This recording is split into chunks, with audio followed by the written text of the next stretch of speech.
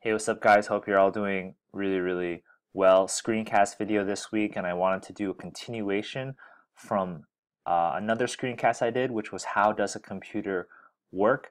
And where we left off with that video was last time we talked about how does one computer work and I did two screencasts about that and we left off saying how does that lead to many computers working. So this video it's going to be distributed computing basics, distributed computing 101, but more than one computer. So basic prerequisites before we get started. Please watch the other screencast first, how does a computer work, two parts in that video, and also this internet playlist that I have. All these words should mean something to you, internet sockets, IP, web frameworks, HTTP, browsers, hosting. If this is super does not make sense to you, maybe this video is not going to make sense to you. So check that out first, and I have to think of a better way to group all this stuff together because YouTube and playlist is not the optimal way to group things. So maybe I have to make like a curriculum or something.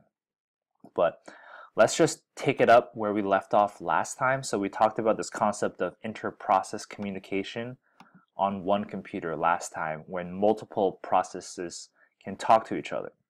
So what does that really mean for a network, right? If you think about it, all network information movement is inherently inter-process because they're on different computers.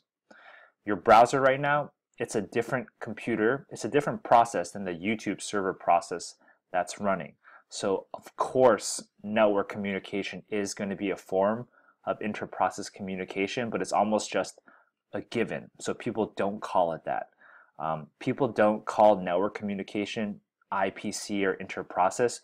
We just call it distributed computing. And this quick video is going to showcase two broad strategies or styles of doing communication between computers. So the thing I want to introduce, the whole concept of this video is these two categories. It's synchronous versus asynchronous communication. And before we get started, these are really abstract concepts, all right? Synchronous and asynchronous do not refer to anything that's concrete. Just think of these as styles. So there's many ways to implement an asynchronous style of communication. Likewise, there are many ways to implement a synchronous style of communication. So you can't say, my system is implemented asynchronously because that sentence is meaningless, right? These are just abstract concepts. And we're going to talk a little bit implementation too later in this video. So first, just want to talk synchronous style because this is what everyone is used to. Uh, a lot of examples in this video, but this is the most common example of synchronous style of communication is your standard blocking HTTP call. Everyone's used to this. If you're a developer, you must be used to this. This is when you hit an endpoint or you go to a web page and you make a blocking HTTP call to some resource on the internet. So this is pretty easy, but the flow goes something like this. Client makes a request and waits. Service gets a request, does something. After it's finished doing something, it sends a response back to the client. Client gets the response and resumes wherever they left off, right? And these colors are just symbolizing different processes. So this is blocking from the sense of the client, right? When step one happens, the client can't progress until steps two and three on the server finish. So the client will not move forward until that request comes back. Comes back. So that's kind of the essence of blocking, and that's what makes it synchronous. All right. Just let that sink in for a bit, and I think it's going to make more clear sense when we compare it with asynchronous stuff. But on the back end, the server could process the request in many different ways. Steps two and three is the backend server processing whatever you requested, but it could do it many different ways. It could be slow, it could be fast, it could hit a database, it could hit a cache, it could write a file, it could read a file.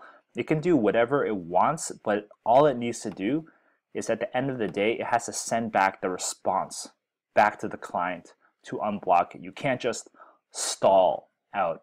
And like you can't take more than 10 seconds, 20 seconds. After some time, if you do not respond to the client, something is going to time out. The server should time out or the client will just close the request and move on. So This is the essence of blocking, and I hope that makes sense. So when things get a little more cool is when we kind of talk about asynchronous style of communication. And before I get into what this really means, remember this is abstract. This means nothing if you say it just like this. It's just asynchronous is a style and the example I want to use is Amazon.com. So what exactly happens when you click confirm purchase on Amazon? What do you think happens on their system? Um, I don't really know, but I'm going to guess a lot of things. Okay, so what do you physically see? What do you physically see? Can't type, sorry. What do you physically see when you press this button on Amazon? Well, your computer usually gets redirected to a success screen that says, Thanks, Bob, for your purchase. Please shop with us again. That's what you see as a client, right? And you continue your day with your shopping. You're not blocked by anything. So Let's talk about what's more interesting, which is what you do not see.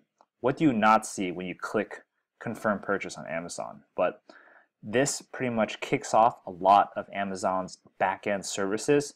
I don't work at Amazon. Um, I don't. I know a couple people that work, but this is only my guess at what's happening. So, Amazon's payment system kicks in to withdraw from your bank account. Amazon's inventory system kicks in to track the item, track the item count of what you just bought, you know, items available minus minus. Amazon's analytics gets an update with your purchase statistics, so machine learning kicks in, models are retrained, your recommendations are improved. Uh, Amazon vendors have to get notified to start preparing the items you just bought to ship them. Amazon dispatch has to be notified to make sure you get the, the warehouse is ready to deliver your product within two days. So just infinite stuff. This is like there must be so many things that are kicked off in Amazon system when you press that green button that I can't even fathom it, but this is just my best guess at the big ones. So I think at this point you should be getting the picture of what's happening when you press confirm. This is a very asynchronous style of experience. So the summary I want to get across with this Amazon example is that this kind of experience is very asynchronous because you can keep moving on to do your shopping while things are happening in the background. You don't have to wait for all this stuff to happen. It's happening after you click the button, but you can still continue shopping. So just imagine what if this was a synchronous experience, right?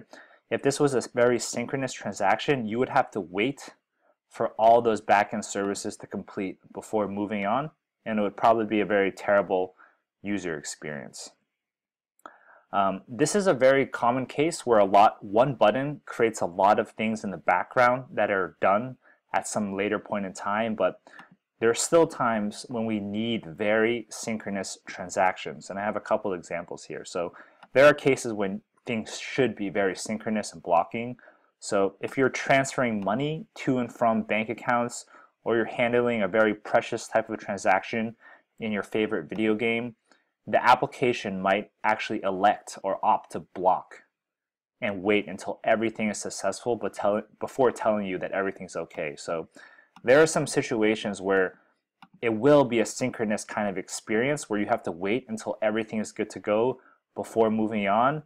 But many times when you click buttons on websites like this, a lot of stuff is happening in the background that you don't know about. And that's the essence of asynchronous stuff. So let's just keep it moving. Hopefully that distinction is now clear, right? Just a quick recap before we move on, but you should be getting a feel for sync versus async.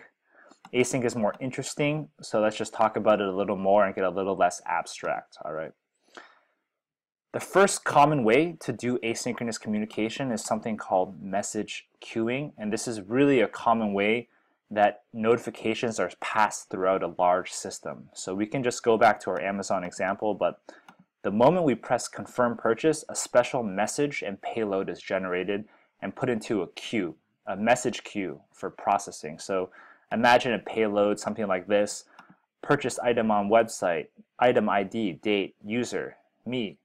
Uh, user ID, I paid 350 bucks for this, it's not prime. Special instructions, please put a ribbon on my package. So other systems in Amazon have the ability to observe messages in the queue and you know this payload was generated when I pressed some button.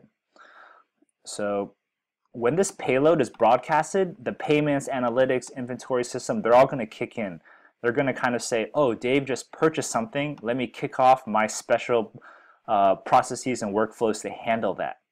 So this general style of communication is also known as pub sub or publisher subscriber. You might have heard this phrase before, but it's a very broadcast style of communication. So it's like just broadcast something, and if you if that's important to you, do something. But I'm just broadcasting this. So um, with that said, I also want to say message queues in general are very flexible. So PubSub is not the only style of message queuing. You can use message queues in very different ways.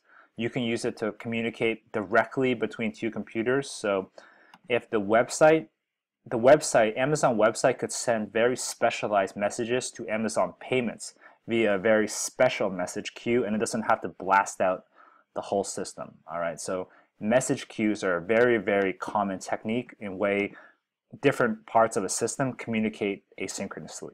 All right, hope that makes sense. The last one I want to talk about is a very easy one, another very common form of asynchronous communication, and that's this concept of web hooks. So um, it sounds complicated, it's not complicated. This is very simple. The only mental model you need for this idea is that think of these as callbacks between computers. Okay, callbacks between computers. For all the programmers watching this, you should be familiar with coding or programmatic callbacks, like execute this thing first and then call this function when it's done, or execute this request and call my success function if nothing broke. Execute this request then call my fail function if something broke, right? These are all special callbacks based on certain scenarios. So webhooks, all a webhook is, is essentially callbacks between computers. All right, that's the mental model, and just keep that in the back of your brain. So one example I thought of is like syncing with Salesforce. All right, this is very common. Whoops. So you're a software developer, you decide that you need to integrate with Salesforce. Salesforce is a very popular SaaS platform to track your customers. You should have heard about this. But let's say you want to keep important copy of Salesforce data on your system to track some kind of analytics how do you keep those two different systems in sync? Um, one really easy way to do it, uh, that's kind of, you know, maybe a little error prone or slow, but you could re-import the data every hour or every night, and that's kind of cool. You can just resync it whenever you want. But what happens if the data changes very fast? What happens if you have 1,000 employees updating Salesforce data all the time? How do you keep it all in sync? Salesforce is like somewhere in the cloud. It's outside your control. So how do you how do you manage to sync that data with your system? You can do that with something called webhooks. So all you do is you pretty much tell Salesforce, hey, anytime data changes on your system, I want you to call this special webhook or callback which hits my system. So I'll say that again. Anytime data changes on your system, I want you to call this special webhook, which hits my system. So the flow is kind of like this. An employee logs into Salesforce, changes a user's email address on the Salesforce website, right?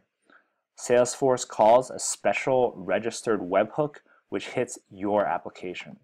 So the moment Salesforce recognizes that a user has changed its data, it's going to call a special webhook which is my super app Dave API Salesforce user updated, right? And then what happens is my app receives the call from Salesforce and it does whatever it has to do to sync up the stuff and it can do this processing, you know, whenever it needs to do. So it's essentially a callback. I think you guys can just, I've elaborated it way too much, but the very essence of it is just a callback function, but just think of it as a callback function between computers. All right, so that's all I had for today. Um, just made it in time. Just doing a basic recap, there's a lot more to talk about for distributed computing, but the essence is how do multiple computers communicate with each other? And there's tons of different ways, peer-to-peer, uh, what we just talked about, client-server, there's just many different styles, and it's pretty much how huge systems on the internet operate. All right, so Hope you enjoyed the video and let's talk more about this next time. All right, guys?